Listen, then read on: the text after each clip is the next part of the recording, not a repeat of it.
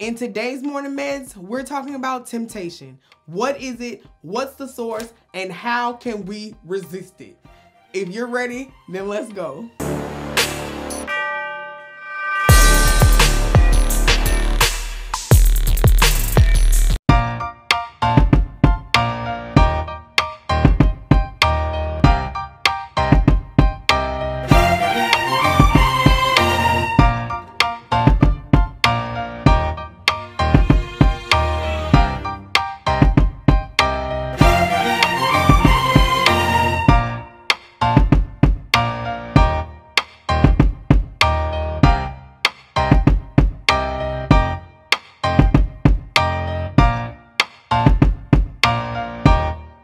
Good morning.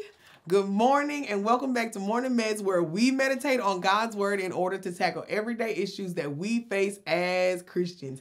So, if you like Morning Meds, be sure to like, share, and subscribe so that we can make it through this together with the help of God. So, what is temptation? Encyclopedia.com describes temptation as a trial in which man has a free choice of being faithful or unfaithful to God. Only secondarily does it signify allurement or seduction to sin. Temptation comes down to following God or not following God. Everything else falls under either one of those criteria. What is the source of temptation?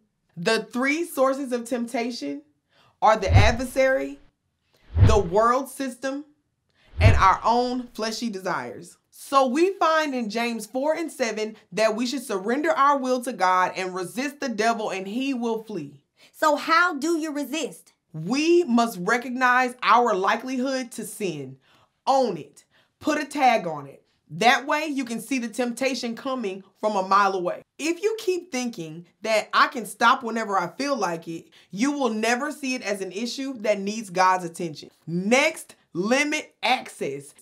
Even if you have to be like Joseph and leave your coat in their hand. Run, get out of there. If you love chocolate and sweets, don't bring it home. This goes for chocolate men and chocolate women.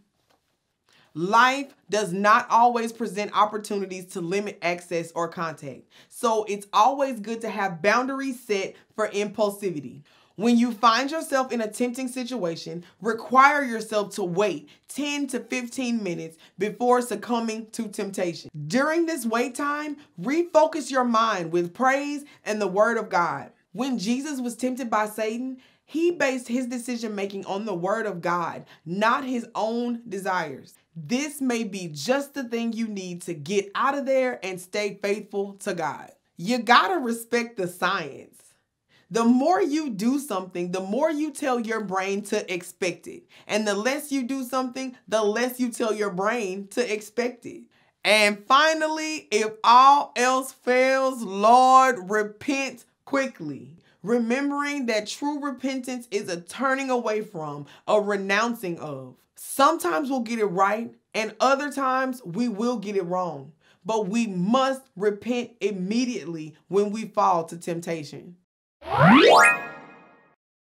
Stay in the Word of God. Don't give up. We all make mistakes. Nobody's perfect. But God's plans will prevail. He knew you before you were formed in your mother's womb. So he's not surprised by anything that you have said, thought, or done, or anything that you could say, do, or think. Repent immediately and keep the lines of communications open with the God of peace.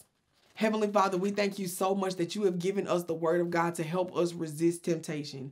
God, we want to be faithful to you, Lord, as you've been faithful to us. We know that we won't be perfect and we know that we haven't been perfect, but we know that you are. And in our weakness, your strength is made perfect, God. We love you, Lord. We trust your plan for our lives and we know that your plans will prevail. We ask you, God, to allow us to set goals, always understanding and knowing that it is your will for our lives that we want. We love you, God, and we ask you, Lord, to protect us from the adversary. And we ask you, God, to help us to keep our minds afresh as it pertains to the world system.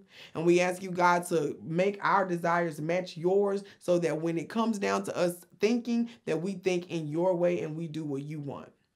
Allow us to repent quickly and get back on track so that we can continue to live for you and allow our ministry to show your light to others in the world. Thank you, God. We love you. We bless your holy name. In Jesus' name we pray. Amen.